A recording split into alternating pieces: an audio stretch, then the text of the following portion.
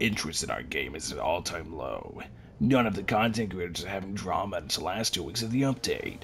What can we do about this? Uh, hey there, boss. Uh, I thought I had a little funny joke for you. Uh, you know how anniversary's coming up soon and all that, uh, but the players, they think we're gonna give them a little five-star selector of the general units. Did you say a five star selector?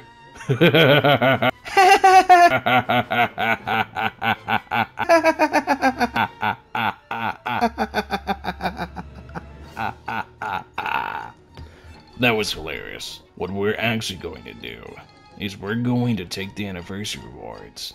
We're only going to show a multi. We're going to show them that all they're getting is a multi.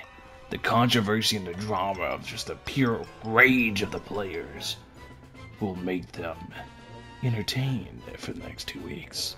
Because we really have no content planned. And I want them to play our game. So what's better than making them all mad?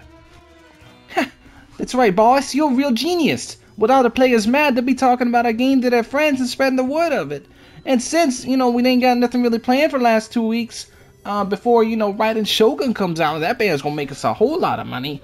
Uh, I figure, you know, with the people being mad, I think you're, I think you're onto something here, boss. I think they're just gonna, you know, complain about it, and the two weeks are gonna fly by, and then we get to rake in all the cash from Raiden Shogun.